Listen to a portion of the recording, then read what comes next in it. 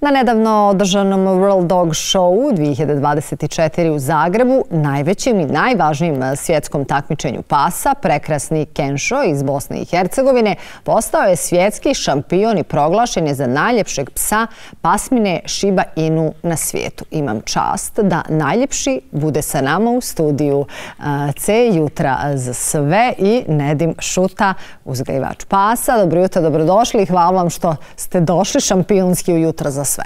E, hvala vama na pozivu i e, kao što to uvijek biva kad god se dešava nešto, vi ste prvi koji podrže takve priče, pa vam hvala i u to ime. E, možda kinologija kao jedan sport nije toliko eksponirana u Bosni i Hercegovini, ali zaista ne postoje riječ koje mogu opisati da sam moj stvari jedan dječački san konačno ostvario i hvala na pozivu. Ispričajte kakve su impresije iz Zagreba, kako zapravo sve to izgleda, da li je to ono kao što gledamo na filmovima kada imaju e, i izložbe pasa i kada se onako psi pokazuju, da li zaista važe sve one stvari koje se moraju ispoštovati i šta se sve to gleda?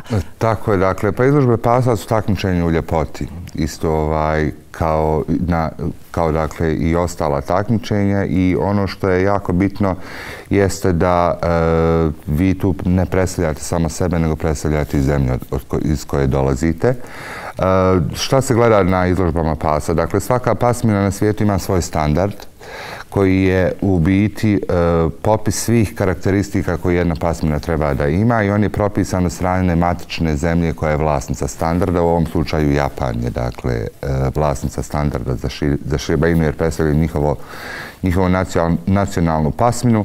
I tu dakle imate od svih morfoloških karakteristika, oblika, e, određenih tjelesnih organa. Zatim se tu čekira i e, ponašanje, spremnost, kondicija i na kraju ovaj, e, u konačnici se bira pas koji je najbolji, odnosno najpribližniji standardu. Mi kinolozi obično kažemo da ne postoji savršen pas i da svaki ima manu, ali kada se sude izložbe, traži se onaj koji je u biti najpribližniji standardu pasmine koje pripada. E, pripreme za World Dog Show su trajale skoro ovaj, godinu dana. Kako se pripremate? E, pa ono što je, dakle, prvo morate psa istrenirati na način da on bude e, dakle, prilagođen na sve uvjete koji se održavaju. Evo, dakle, imamo kadrove, dakle, na gužvu, na, mora biti kondicionalno spreman, mora, dlaka mora se, dakle, pripremiti. Imali smo težavajuće okolnosti jer se generalno duplo, duplo psi svi linjaju u proljeće i onda su tu bili trikovi mogući kako sačuvati dlaku da ne odemo uh, baš ovaj, u takozvanoj uh, bikini fazi na World Dog Show, ali smo ovaj uspjeli ubiti. Još uvijek sumiramo utiske i ne znamo šta se desilo jer je bio veliki pritisak. Ja zaista moram reći da je Hrvatska organizovala sjajan World Dog Show ove godine, ali da su bosanci i hercegovci imali malo otežavajuću okolnost, zato što ni jedan sudija iz Bosne i Hercegovine nije bio, nažalost, na listi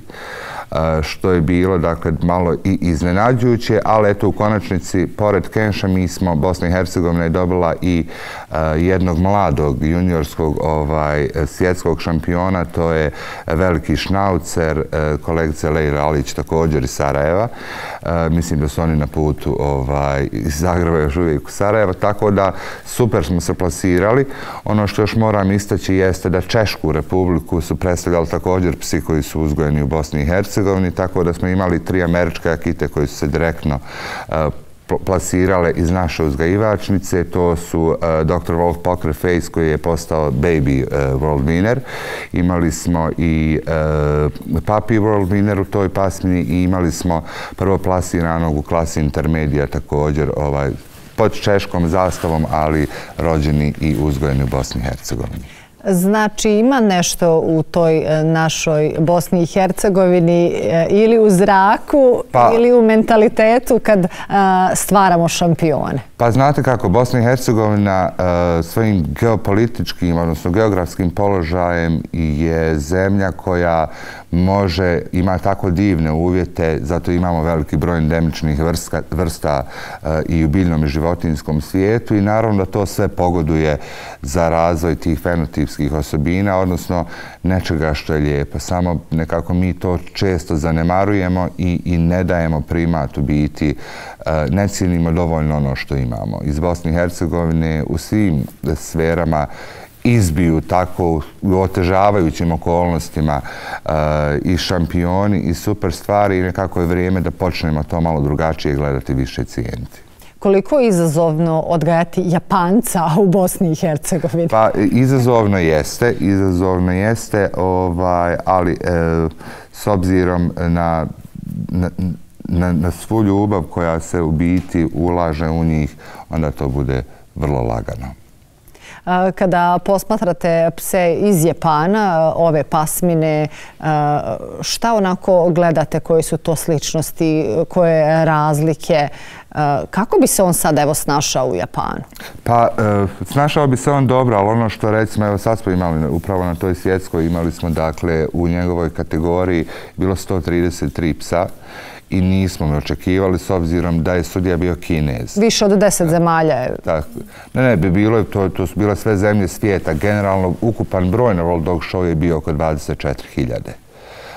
Zagrebački velesajem je e, bio krcat, svi smještajni kapaciteti Zagreba su bili popunjeni. Vi niste mogli naći smještaj koji će vas primiti jer je sve bilo puno, ovaj, da ne pričamo o drugim kapacitetima. Dakle, e, Zagreb je napravio sjajan World Dog Show, organizacija je bila bezprijekorna.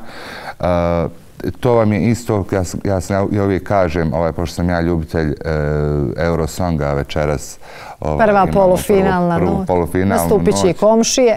Tako je i navijamo, naravno, za komšije. Mi nismo možda imali Eurosong, ali smo učestvovali na uh, World Dog Show, što je u biti kada pogledate organizaciju, prezentaciju i ovaj uloženi, uloženi trud. To vam tu dođe na isto, a generalno uh, lijepo je vidjeti zastavu svoje zemlje na konačnoj tabeli uh, sa titulom World Winner.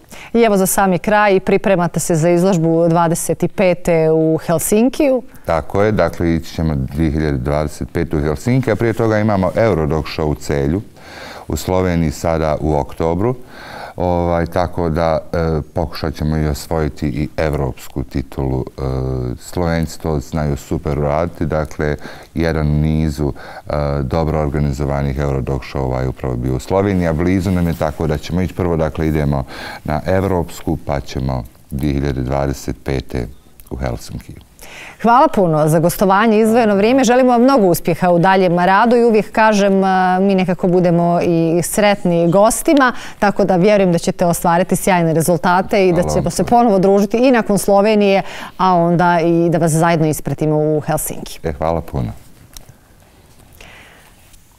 Evo, čuli ste e, šta e, kaže naš e, gost. Najljepši pas pasmine Šiba Inu bio je gost jutra za sve.